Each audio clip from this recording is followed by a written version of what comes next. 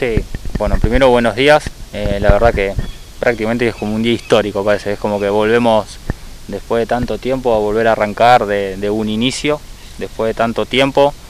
Eh, felicidad plena. La verdad que venimos trabajando ya hace un largo tiempo con los protocolos, en presentaciones, en armado y bueno, llegó el día en que, en que podemos arrancar. Estaba todo organizado ya desde el día lunes, solamente faltaba que, lo prueben desde las autoridades locales, del municipio. Sí, como vos bien dijiste, igual los protocolos los teníamos armados desde hace, tiempo, teníamos el de la Asociación Argentina de Tenis, después armamos un protocolo propio eh, que fueron presentados a municipalidad y bueno, el lunes teníamos todo armado prácticamente de las 8 de la mañana para la habilitación. Así que eh, bueno, llegó el día y bueno, acá estamos, eh, arrancando nuevamente. Nico, obviamente que no se vuelve a una normalidad plena, sino que hay características nuevas. Contanos por ahí las particularidades más principales, sobre todo lo que tiene que ver con el ingreso de los, de los deportistas, de los jugadores que quieren practicar aquí en la cancha. Bien, eh, sí, en realidad no se pierde mucho lo que es lo social, en realidad lo que se hace es que se venga a practicar eh, lo justo y necesario, lo que son las clases de tenis son de 50 minutos, después se toman 10 minutos de, limpieza de los materiales para recibir la próxima clase. La gente tiene que venir a horario, en, en el horario de la clase, no puede estar mucho tiempo antes acá, tiene un lugar de espera, un estacionamiento, tiene un proceso de limpieza de manos en el vestuario, es un vestuario único.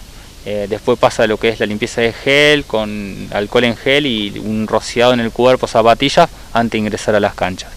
Una vez que se ingresa a las canchas, bueno, ahí ya se puede bajar un poco el barbijo, sacarlo, siempre manteniendo un, distanciamiento entre, entre los alumnos. Eh, otra cosa también son los horarios, los horarios son de 7 a 19 horas, eh, las clases se pueden desarrollar ahí y los juegos se pueden desarrollar ahí. Eh, si alguien quiere venir a jugar, tiene que pedir, llamar por teléfono a, una persona de la subcomisión de tenis para encargar el turno de, juego, digamos. ¿Y esto es únicamente para el rango de edad de 16 a 60 años?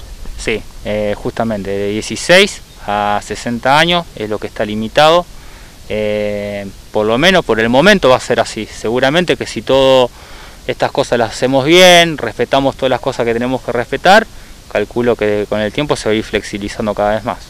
Quienes vienen aquí a, practicar tenis tienen que venir cambiados, no pueden utilizar vestuarios, ni, duchas, ni nada por el estilo. No, el vestuario está totalmente eliminado en este momento, únicamente es para limpieza de mano, cantina no, no se puede utilizar, el frontón está inhabilitado. Eh, el quincho está inhabilitado, es como, te dije en un principio, es simplemente para hacer la actividad deportiva, 50 minutos o una hora en el caso de los socios canchas que quieran venir a realizar. Cada uno va a manejar eh, las pelotas, digamos, sus propias pelotas, porque también eso es otra cosa. Eh, cada uno va a tener asignado unas pelotas previamente limpias, digamos, desinfectadas. así que bueno, todo un protocolo aplicado para que, bueno, que con el tiempo esto se vaya flexibilizando. Claro, no es por ahí lo, ideal, pero después de tres meses de inactividad eh, es, muy bueno también poder volver a abrir las puertas y adecuándose también a, los tiempos que se corren. No, ni lo dudes, a ver, eh, para un club volver a tener una actividad eh, es glorioso, para la gente también poder hacer la actividad que le gusta, hace mucho que vienen preguntando si hay alguna novedad para el arranque, es un deporte que la verdad que es al aire libre, hay mucha distancia entre jugador y jugador, eh, así que bueno, están todos invitados en ese rango a venir a participar de esta actividad. Nico, para finalizar, bueno, me imagino que el 2020 era un año con muchos planes, con muchos proyectos. Esto que ha pasado, bueno, lamentablemente trunca muchas cosas.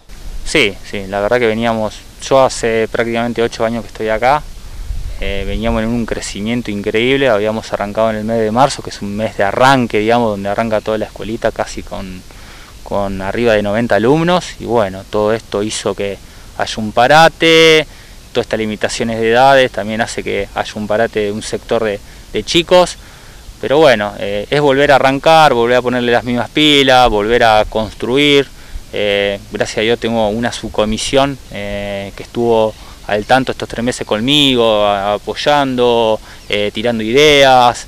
Eh, así que bueno, déjame agradecerle a ellos que fueron parte de estos meses de, mantenerlo uno eh, motivándolo y también ni hablar a los alumnos y a los papás de los alumnos que trataron de que se, que se abone, digamos, eh, eh, la gotita como para mantener la estructura del tenis, para mantener lo que es el, chico de el, Gastón, que es el chico de las canchas, a mí, así que la verdad que fue, fue grandioso, en ese sentido fue grandioso y bueno, les quiero agradecer a ellos también.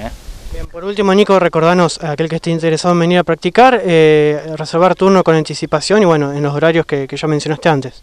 Exacto, acá se puede, el, tenis se abre desde 7 de la mañana a 7 de la tarde. Eh, para tomar clases se comunica a mi teléfono que están en las redes eh, y si alguien quiere venir a jugar con alguna otra persona, lo puede hacer. También está en, las redes está el número del chico que se encarga de tomar los turnos. Que cuando quieran, hay cuatro canchas, eso es la suerte también que tenemos, tener cuatro canchas impecables. Eh, así que bueno, eh, los esperamos a todos.